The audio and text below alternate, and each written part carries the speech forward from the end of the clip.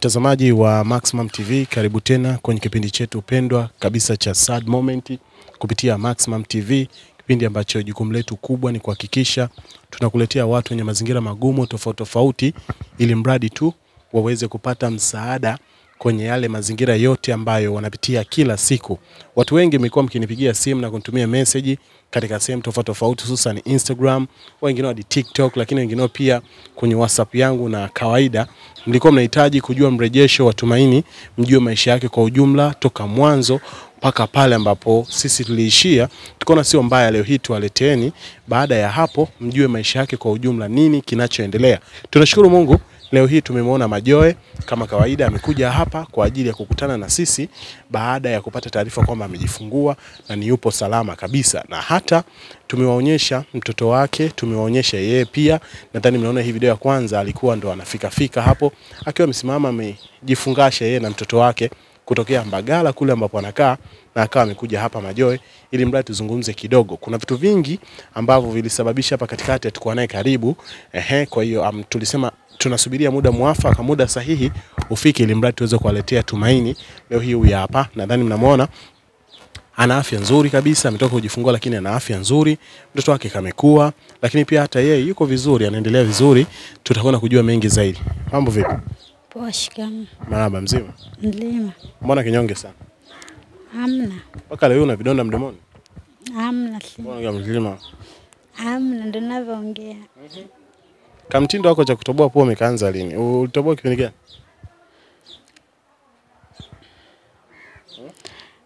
Kutoboa pua nilianza tu mawiki tu aliopita.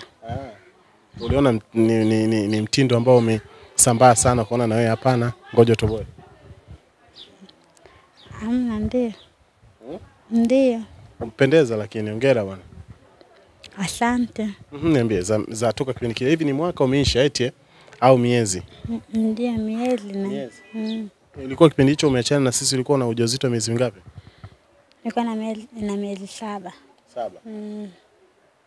Ah, na sasa hivi mtoto wako na miezi mingapi? Anaelekea minne. Anaelekea minne. Mm. Anaitwa nani? Anaitwa Gabriel. Gabriel nani? Gabriel Elia. Ah. Ndo babake yule atabati yule ambaye alikukataga. Mm. Hajawahi hata kumuona mtoto. Hapana. Hem, tusimulie jinsi ambavyo ulijifungua mtoto wako kwanza. Ilikuwa ni wapi? Alafu ilikuwaje? nijifungua hospitali Matitu. Matitu alinipeleka majirani, akanipeleka hospitali nikajifungua. Mm. Wakati umpata uchungu ulikuwa uko peke yako. Nilikuwa niko peke yangu tu, Siku hiyo ilikuwaje? kati nasikia uchungu, niko peke yangu sana. Shukuru Mungu, nilikuwa naongea kidogo na majirani vizuri, ndio alo ilikuwa mida saa mbili mbili. Siku. Mm, umekaa nje au ndani? nilikuwa nimekaa nje Mm. Ndo ule bibi ndo akaniambia hivi, subiri, mbona hizo ni dalili za uchungu, subiri tukupeleke hospitali. Ndo akawa wameandaa vitu vyangu vyote, nilivyoviandaa ndo akanipeleka hospitali. Nilivyo- Nilivyofika hospitali kule nilijifungua salama, saa tisa usiku ndo nilijifungua. Mm. Na hapo wakati huo ulikuwa umeshajipanga vitu vyote vya kujifungulia ulikuwa unavyo. Eh, nilikuwa nishajipanga tayari kila kitu eh. Na mtoto wako ujifungua katika namna nzuri tu sasa bila operation. Na njia ya kawaida, nashukuru Mungu. Lakini pia um, madaktari wa kule ama kliniki ilikuwa inaendelea kule kule ama ukuwahi kwenda kliniki? Nilikuwa naendelea Ulikuwa unaenda kliniki? mm, Ulikwenda kule Maji Matatu ulikuwa nenda kliniki? mm. Ndio Kwa hiyo maana yake siku ya kujifungua pia um, ulijifungua salama kama ambavyo unasema, lakini pia na mtoto wako jinsi ambavyo yupo ametoka salama, hana maambukizi yoyote ama kuna maambukizi? yuko salama mtoto, Wewe umejuaje? wameniambia madokta wenyewe Wanafuatiliaje? mm. Kikoni chetu akiangalia anajua Ni kwa sababu gani nahisi labda mtoto ametoka salama? wao wenyewe walivyoniambia mtoto yuko salama, basi kwa mimi sijajua, lakini wenyewe ameniambia yuko salama mtoto wangu, hana tatizo lolote Lakini unafurahia maisha sasa hivi. mm. Kweli. Mm. Haya, naona saizi umepungua kidogo, lakini huu huu mwili uliokuwa nao unajua ni kwa sababu ni mama eh, umejifungua na mtoto unanyonyesha na kila kitu, si ndio? Mm. Sasa hivi hapa mtoto huyu anazidi kukua, ana miezi minne sasa hivi hapa, na nimepewa taarifa kwamba bado unamnyonyesha. Vipi, una mpango gani? Madaktari wamekupa taarifa kwamba mama ambaye tayari una maambukizi alafu mtoto wako mzima, kuna process fulani za, kutu- za kuacha kumnyonyesha labda atakapofikia atakapofikisha miezi sita au vyovyote. Ulishafuatilia hicho kitu? Eh, nimefuatilia. Wa- wa- Wameniambia ikifika miezi sita mtoto anatakiwa aanze kula, aanze kula, lakini kati ya miezi iliyobakia nyuma nisimpe chochote kile. Kwa maana yake akianza kula tu hautakiwi kumnyonyesha tena. Hapo sijajua mbele huko, lakini naambiwa nitakiwi tena kumnyonyesha tena. Sasa kutokana na hali yako uliokuwa nayo, mimi ninavyofahamu, Mungu anasema kwamba mtoto ananyonya kwa miezi sita tu, si ndio? Baada ya hapo, huko mbele atakiwa kunyonya kwa kumwepusha asipate maambukizi, sawa? Kwa cha kufanya kitu kimoja ambacho tulikuwa ufanye ni kwamba ni borea ufanye mapema, ndio? Kwa sababu mtoto kwanza uzuri ana afya nzuri, ana mwili mkubwa, amechangamka, mcheshi. Anza kutengeneza mazingira ya kuanza kumwachisha mtoto wako baada ya huo muda ambao anasemaga ni miezi sita, si ndio? Ili mtoto wako asipate matatizo, alafu wewe huwa unampatia vyakula, mfano kama uji na nini vile vya watoto wa rika hilo, si ndio? Ili mradi endelee kukua katika namna nzuri, hivyo asipate maambukizi yoyote, sawa? Inawezekana kufanya hivyo, sema tu nanilii vitu vya kumfanyia mwanangu apate hivyo vitu sina. Naona Mm, sio kwamba unachangia hela nyingi sana, unazipeleka wapi? amna nili- tumia vibaya. Ulinoga noga vitu vitu gani? Nitumia tu vitu vya ajabu ajabu, nitumia vibaya. Mm. Sema sasa na yeye Tumaini nako ah, sio tajiri. Ulikuwa na hela unajua wewe. Ni shetani tu aliniingilia mpaka nimefanya hivyo. Kipindi ambacho ulikuwa na hela sana ndio kipindi kile ambacho kwa tumekutangaza sana. Ulivyokuwa unapata pesa, vitu gani ambavyo ulivifanya sana leo hii unajutia sana? Nilifanya vitu vya kijinga tu, nilinunua tu na godoro basi. Siwe- Nilinua tu kitanda na godoro tu basi, kufanya chochote. Wengine nilikuwa natumia vitu vya ajabu ajabu, ila tu najutia kwa yote niliokuwa nimeyafanya. Ndio. Na chingine na pia nilikuwa namba tu Kazairu unisamehe kwa yote nilikuwa nimeyafanya nilivyokuwa nimesema. Ulisemaje vile? kwamba kila habari unaonioje, unanipa hela mpaka unanipa hela na nilio na yani mimi nakupa hela wewe ili ndo unioji. Kwa hiyo hapo naomba unisamehe kwa hapo. Ile, ilikuwaga kwa nini ukaambia watu? Najua ulinichafua kwa namna moja ama nyinginewe. Nilipewa taarifa umejifungua, si ndio? Nilipopewa taarifa wewe kujifungua pale pale, sawa, nikaanza wale watu wakaniambia wakakwambia wewe kwamba mwite kaka Zaire akusaidie. Wakati huo umetondoka huko, hata tujui umeondokaje wala hujatuaga. Umeenda kule Mbagala, si ndio? Ulivyoambiwa mwite kaka Zaire akusaidie, akasema ukasema kwamba simtaki wewe. Kila baada ya neno jige na nilipisha hela ndo ananioje. Nilikaa nikamwambia hotel Leila, nikamwambia nikamwambia ah, Tumaini, kwa nini kafikia huko nisingizie kitu cha uongo? Mm? Nikasema ila mimi namwachia Mungu, lakini leo hii nashangaa tena nimeambiwa amekushinda huko, umeamua rudi tena kwa Zahiri. Ni kweli? Kweli mimi ndio nimekosa, naomba Kazairu unisamehe. Au kufanya vizuri kwa kuwa unanitangaza kwa watu wanaowasaidia nyinyi, mnasema kwamba mimi na- na- nawalipisha hela, lakini mwisho wa siku nisha kuchukua hela yako wewe, yani kwamba nakwambia leta hela nikulipisha kwenye kipindi. Hapana, Sasa uliwaza nini kumwambia vile wakati mimi nakusaidia, sijai kula hela yako, hujawahi kunipa hela kwa, kwa kusema kwamba eti nakuoji ndo nilipishe hela au kitu chochote. Kwa nini nifanya vile? Nimekosa kaka, nisamehe. Unahisi unaomba msamaha kwa sababu una matatizo, unaomba msamaha kwa sababu unajutia yale ambayo uliyafanya? Naomba msamaha, najutia kwa yale niliyoyafanya. Kweli kweli. Sasa kwa nini umekuja muda huu ambao tayari umeshaishiwa? Una kitu, hela ulizokuwa nazo, hela nyingi sana, unajua ulikuwa umechangiwa, lakini umezitumia vibaya zote. Na kipindi kile ilikuwa hata tukikushauri wa uelewi. Ulikuwa gani wewe ni wewe yani. Yani bwana msiniingilie kwenye hela zangu.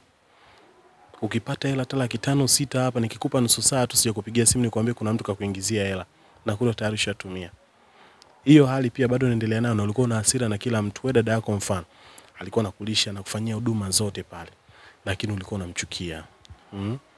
Anakufanyia kila kitu, anakubembeleza kama mdogo wake wa kuzaliwa naye, ulikuwa unamchukia.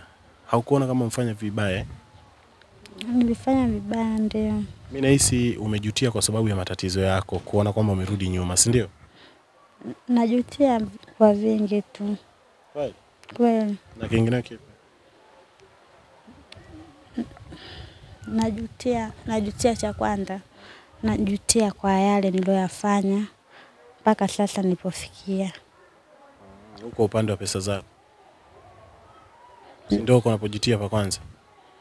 Sehemu ya pili ndio msemo kwamba unajutia kwa sababu ya kunisambazia uzushi wa kusema kwamba Zaire alikuwa anakulipisha pesa ili mradi tu basi unichafue nafsi yako iridhike, alafu maisha mengine yaendelee, si ndio? Hilo hicho cha pili ndio kwa unajutia. Ndio. Yaani tu labda kiufupi, watazamaji, kitu kimoja ambacho nataka niwaambie, Tumaini um, akiwa na matatizo ni mpole, mstaarabu sana, yaani kama ambavyo unamuona. Sawa, mimi nilivyopata taarifa kwamba anateseka sasa hivi, maisha yake ni ya shida sana, kula yake ya shida sana, alafu na mtoto mchanga, kilichonigusa mimi ni huyo mtoto, mtoto, huyo mtoto mchanga. Nikasema sawa, ana, anafanya makosa, anasumbua watu, anakoromeana na watu. Tumaini iko vizuri kwa kugombanisha nyumba na nyumba, mtu na mtu yuko vizuri sana. Yaani anaweza ukimweka pale unapokaa anaweza akakuharibulia hata mazingira usielewane na watu vizuri. Hicho ni kitu ambacho mimi nimekiona kwake. Lakini pia kipindi ambacho nilikuwa nimemtangaza mara ya kwanza alikuwa anatumia hela nyingi sana, mara ile laki sita, laki tano, shingapi, ngapi? Yaani kushika milioni milioni ilikuwa kawaida kwake. Lakini cha ajabu hakuwahi kuitumia katika mazingira mazuri. Anataka vitu vya thamani sana, vitu vya juu sana. Alafu yani yeye laki, laki tano ukimpa masaa mawili au limoja haumkuti na kitu. Na ni hapa pa tu majoe. Kwa hiyo unaona kabisa kwamba namna gani ambavyo um, sijui ni utoto na nini, si tulichukulia tu ni utoto, ila kitu kibaya zaidi ni kwamba alikuwa haingiliwi na cha kwake, na ana hasira sana, yani sio mpole hivi unavyomuona hivi, ni kukosa tu pesa, lakini ana hasira sana, na akiamua kufunguka saa hiyo, yani hivi hautoelewana naye wewe mwenyewe, hata kama ulikuwa na ghadhabu zako utapoa, kwa sababu ya tempa yake ni kubwa sana. Kwa hiyo um, tulikuwa tunamshauri kipindi ambacho anapata pesa, fanya hivi mdogo wangu, pita huku, pita kule, pita kule. Anakwambia msiniingilie kwenye majukumu yangu na pesa zangu. Mwisho wa siku leo ulikuwa uko busy na kakako eh? Ndio. Kwa hiyo um, pesa zake akawa anahifadhi, anafanya hivi, yani alikuwa atuamini hata sisi, akiamini labda sisi tunaweza tukamwingilia. Si atakuwa kwa na time, hatukutaka hata kumuuliza una shilingi ngapi, lakini hela ambazo zilikuwa zinaingia, wengi nilikuwa nawapa namba mimi, wanasema nimemtumia laki sita, nimemtumia laki tano, nimemtumia sijui milioni, na namuuliza naambia, hey, nilitumiwa, nimeitumia kitu fulani, yani siku hiyo hiyo na muda huo huo. Kwa hiyo ndivyo ambavyo ilikuwepo. Ilifikia tu mpaka akawa anamchukia hata Leila, wakati anakula kwa Leila, analala kwa Leila, huduma zote anapata kwa Leila lakini alikuwa anamchukia. Lakini Leila huyo huyo ndio alomleta kwangu. Yaani Leila ana matatizo, anapigwa viboko na wachawi, anafanyiwa matukio yote na majini, lakini hakujitangaza wa kwanza. Alimleta huyu, akaniletea mimi, nikaanza kumhoji, akaniletea na mama mwingineo, nikaanza kumhoji, alafu baadaye ndo akaja akaniambia matatizo yake katika namna ambayo alikuwa anahisi labda mimi nitasikiliza na apotezea, lakini mimi nikamwambia mchulifanyie kazi. Mpaka leo hii ana maisha yake, anafanya vitu vyake. Ila wa kwanza alimleta huyu, lakini huyu ilifikia hatua akamchukia akawa hataki kumsikiliza kabisa. Lakini Leila pia yeye sio ndugu yake wala hajuani naye for, for anything. Ni mtu ambaye amekutana naye tu. Yaani ndani ya wiki hiyo ambayo mimi nimekutana naye huyu ndio wiki hiyo hiyo Leila alikuwa anafahamiana naye. Ni mtu tu amebeba naye ana shida msaidie, hana kitu lakini akamleta kwangu. Kwa hiyo alivyopata ndugu yetu akaota mbawa. Kama mkorofi, mgomvi, akiamua kufanya lolote anafanya. Akiamua kwenda popote anaenda. Lakini pia kitu kingine ambacho kwa na news bado alikuwa yuko busy na mahusiano na nini kuna wakati anaandika andika ma message mara na bwana huyu na bwana huyu na bwana huyu, ndio maisha yake alivyokuwepo. Kwa hiyo akawa ameondoka sasa, sababu ile alifikia tu akachoka lifestyle yake huyu hapa, ikabidi amwambie, kwa sababu una pesa na unataka kuingiliwa kimajukumu wala kupangiwa chochote, kapange. Kwa akapanga, alivyopanga kule ndo akawa analala ndani muda mrefu sana, kwa anaweza kata siku tatu analala ndani, afu ni mjamzito. Wale wenye nyumba sema huyu mtu mjamzito afu analala ndani siku tatu, si ndio ilikopo hivyo? Ndio. Akawa anasema Borea aondoke tu, sababu sisi hatuna uhakika na maendeleo yake huko ndani. Mtu analala siku tatu ndani, ajala hajafanya chochote. Kwa alivyorudishiwa nani mazingira yake ya pesa pale, akawa ameondoka. Kwa hiyo toka hapo hatukuwahi kumuona mpaka amejifungua, ndo namuona mimi leo hii. Kwa mimi na wewe leo hii ndo wa kwanza kumuona, lakini wakati yuko kule kule Mbagala nilipewa taarifa kwamba amejifungua. katika namna mtu mwema tu Msamaria anajua kwamba nimemtolea wapi, akaniambia Zaidi, msaidie. Yeye yeah, akaanza kutangaza, anawaambia wale watu ambao walikuwa wanasaidia kwamba Zaire alikuwa analipisha kila kipindi hela, hajawahi kunisaidia bure wala simtaki hata kumuona. Leo hii amemshinda, amerudi tena kwangu, anahitaji msaada, hana pa kukimbilia, maisha yake ni atabu taabu. Juzi juzi hapa alikuja kwa Leila, Leila akampa shilingi elfu kumi na tano kaenda kufanya biashara ya mandazi hivi, ambayo ndio umeambiwa uje nayo Ndio. yako wapi? Atoe Nimeacha dukani dukani wapi? Huko huko kwa jirani kunimba. Ah, ukaona eh, akaona nilete aje aliwe? Hapana, Mungu sasa, ah, ngoja baki. Amna. Amna. Kwa maana alikopo ni mengi sana, nikabidi tu niache tu pale dukani, tena na mtoto na mizigo, takuwa na vitu vingi vya kubeba. Na vitu vyako pia huko umeacha vya mtoto. Kwa nini sasa? Eh, Kwa nini uliviacha sasa? An- nilikuwa naambia Dalila nitarudi kumwona nilii kwenye shughuli yake. Bwana ndio hivyo. Kwa hiyo bwana ndugu yetu huyu ana mazingira magumu kiukweli. Mimi namhurumia kwa sababu namjua alipotoka. Yaani kwa kipindi ambacho nilimfuatilia mpaka leo hii naona kama namjua ni ukuaji wake wote. Umeona? Kwa sababu ana mtoto mdogo na katoke nyoka cheshi hata akaelewi chochote. Kwa hiyo tunapokuwa tunampotezea huyu hapa ni kama vile tunamtesa mtoto wake. Hicho ndicho ambacho kipo. Afu asili ni asili tu. Mimi najua kabisa kwamba huyu kilichomleta hapa ni matatizo, wala sio kwamba eti ana, ana, anakiri amfanya makosa, ila anajisafisha kwa sababu anahitaji kusaidiwa tena. Hicho ndicho ambacho kipo mpaka sasa hivi hapa, si ndio? Ingawa yeye anajutia wakati picha limeshaisha, lakini mimi naamini kwa upande wangu mimi anajisafisha kwa sababu anahitaji msaada. Hicho ndicho ambacho mimi nakijua. So mi kwa upande wangu hata nilivyoyasikia yale wale watu walikuwa wananifuata WhatsApp na waaminisha tu kwamba bwana sio kweli anaongopa. Sio kweli anaongopa. Ilikuwa ni hivyo tu na nilivyoona mi simu nyingi za watu na wanahitaji mrejesho na kipindi hicho mara nimepewa kesi hii nimepewa hichi. Kwa hiyo nikawa nimeshindwa kufanya chochote. Nikasema mimi naamini kila kitu kitajirudisha. Huyu hapa karudi na nadhani tegemeo lake ni sisi au sio? Ndio. Sasa hapa wewe mamangu, asili yako iko kwenye damu. Mpaka saa hizi naambia uko busy na wanaume. Wewe kuna wanaume wanakusaidia nini? Mbona unakuacha unazunguka tu? Hamna. Sasa mbona unahangaika nao sana? Siko bila na wanaume mimi. Hapana. Wewe hauna mahusiano? Sina mahusiano na mwanaume. Baba mtoto vipi? Anakuja kumcheki mtoto? Hapana. Kwa nini? Sijui mwenyewe. Hataki kabisa kumcheki mtoto. Hataki. Anakuwa anakwambiaje? Hataki tu. Tumaini, unajua ungetulia ungeshaolewa na mtu ungeishi maisha yenu. Mbona ni mrembo tu maskini afu unahangaika hangaika? Au unaona maisha ya kudanga ndo maisha? Kwa sababu hata kipindi kile katupo wote ulikuwa unahangaika kweli, yani wanaokupigia ndio unawafanya mabwana zako. Maana kuna mtu mmoja kanicheki nakwambia ana anipenda. Wewe misao ulikuwa unaniambia. Si wewe mwenyewe ulikuwa unaniambia pale unacheka mwenyewe unaona raha. Tena kipindi hicho huwezi hata kuongea vizuri vidonda vimekujaa mdomoni. Usifanye hivyo sawa? Waombe sasa msamaha wale, maana wale ndo mabosi wetu, wale ndo wanaokusaidia wenyewe. Wakisema zaidi tumsimamie wewe, tumsaidie, takusaidia. Na ulikuwa unahitaji nini? Unahitaji nifanye biashara. Biashara gani? Akula na madila. Eh, madera pambe unayapenda wewe. Siku zile tu mpate hela nti dela la Msomali. Na sasa hivi tena umerudi kwenye madera hayo hayo. Hmm? Mm.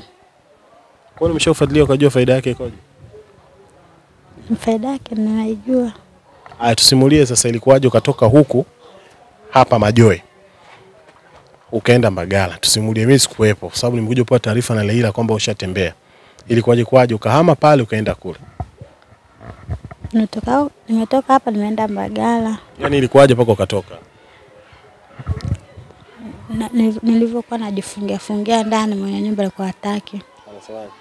Alikuwa anasema hivi, huyu mdada anavyojifungia ndani humu hali chakula afanye chochote kile, atakuja kutufia huku. Akawa anamwambia Leila, "M- huyu mtu wako uliomleta huku anajifungia sana ndani, kwa huku atatufia, tumtaki. Wakawa wamenipa nuksi wenyewe, kwa mimi ikabidi nikaongea na kaka yangu, nivyoongea na kaka kakaangu akasema nakuja kukufata huko. Mm, alivyonifuata kakaangu akanileta huko, akanipeleka Mbagala kwa mke wake. Alivyompeleka Mbagala pale ndo akawa nafanya mpango wa kumpangisha chumba, ndo nikapanga chumba Mbagala. ndo akaanza kuishi. Mm. Kaka yako huyo baada ya kupata hela, huyo ndo ilikuwa kila kitu, unamtumia tu hela. Mimi unaniona mjinga, nahifadhi hela zangu. Unadhani mimi natoa toa? Unakumbuka ulikuwa unaambia Leila? Huyo ulikuwa unampa pesa na yote ulikuwa unayafanya kipindi una pesa. Sasa hivi vipi, anakusaidia nini? Hamna. Hamna. Sasa hizi ukitazama unahisi watu sahihi kwenye maisha yako ni nani na nani? Nini? Ni sisi. Mm. Mimi na nani na nani? na nani? Wewe na Dalila. Lakini ndo hao ulikuwa unawapiga vita hadi kuwachafua. Ila kaka yako sasa kashaona umeshaishiwa, amekuacha na mtoto wako unazagaa mtaani. Leo toka asubuhi umekula Nimekula. nini hicho? Nimekula ugali. Kaa sawa basi, kaa sawa. Umekula ugali Mm. na nini? Ugali na mboga za majani Mboga gani? na nili spinach. Basi Mm. kwa Leila huko anakula watu minofu. Umefuatilia uone? Mara ya mwisho kula nyama lini? Na Eh? kulaga. Unakulaga? Hmm? Unakulaga? Nakula hivyo siku moja moja. Eh. Sasa hapa mtoto wako anahudumia na au kuna baba mwingine umemtafuta? Hamna. Mm. Leo usisema wewe kuna father mwingine. Ukiona wewe anazingua unampa mtoto baba mwingine. Ah, ah, Hamna. Au kipindi kile kwa unaniambia unasimu mtoto. Hamna. Amna. Kwa hiyo sasa hivi ukitoka hapa unarudi Mbagala. Eh, Mm. Mbagala unakaa sehemu gani? cha Simba. Cha Simba. Mm. Maji Matitu kule. Mm. Na kule unafanya biashara gani? Nauza mandazi. Mandazi si Leila akakupa biashara juzi. Ndio Kabla ya hapo ulikuwa unafanya nini? nilikuwa sifanyi chochote. Sasa ulikuwa unaishije? Hmm? Ikipatikana Sasa kinapatikania wapi? Au ulikuwa kuna mishemishe zako unaendeleza? amna mambo hayo sina mimi. Eh, kilikuwa napatikana napatikana kakaangu na akipata ananipa. Tukikosa ndo maisha hivyo hivyo tuna tunagonga hivyo hivyo magumu magumu. Kwa sasa hivi unataka biashara ya madera. Mm. Kuna kuna biashara nyingine tu ambayo itakuwa nzuri? Sababu hiyo biashara madera umeanza kuifikiria toka kipindi kile. Inaonekana bado hata pia mawazo yako ya kubadilisha mfumo wa maisha ambao ulikuwa unaishi mwanzo bado hujabadilika. Amna, nimebadilika. Sasa mbona kwenye madera bado umeng'ang'ania hapo? Mm, biashara ya madila Au ndio inauzika sana? na naona sana wasichana wengi wanauza. Na mtaji wake ni shilingi? Mm, Sijajua Kwani wewe unajua wananunulia wapi na na wananunua kwa gharama gani? Nasema wanafuata madira Kariakoo, kwa hiyo sijajua mtaji wake shilingi ngapi. Sasa singibidi ufuatilie ujue, maana yake hapa unapokuja unatuambia, maana yake um, tunakuwa tunajua ni gharama gani na kila kitu, si ndio? Ndio. Kwa hiyo maana sasa watu hapa nakutazama waombe msamaha wenyewe, kwa sababu wao ndo wanaotoa, ili wakiguswa na matatizo yako na mwanao, sababu ushapata pesa nyingi sana hizi ambazo utaanza kuanza kuchangia wewe, inabidi wachangie watu wengineo. Wakisema Zairi tumsaidie, waandike comment hapo chini, mimi nitakuwa nasoma. Nikiona wengi wamesema tukusaidie, tunakusaidia. Nikiona watu hawajataka, tunapotezea. Sawa eh? Ndio. na raundi hii hapa tunahakikisha kile ambacho uko kihitaji ndo hicho kitakachopatikana. Yaani saa hizi ujenje ujenje tena utakuwa hakuna, sawa eh? Mm. Ni kile ilikuwa tunawaacha mnakuwa free mkipata hela mamilioni sita saba nane mnamgeuka sawa zaidi, kwa sababu tayari maskini nyewe mna hela, mnaanza kumpiga maneno tena, si ndio eh? Ila kwa sasa hivi nadhani hicho kitu hautokiona, si ndio? Ndio. Haya, waambie chochote watu wanakutazama. Kama watazamaji, naomba mnisamehe kwa yote niliyoyafanya. Niko naomba mnisamehe.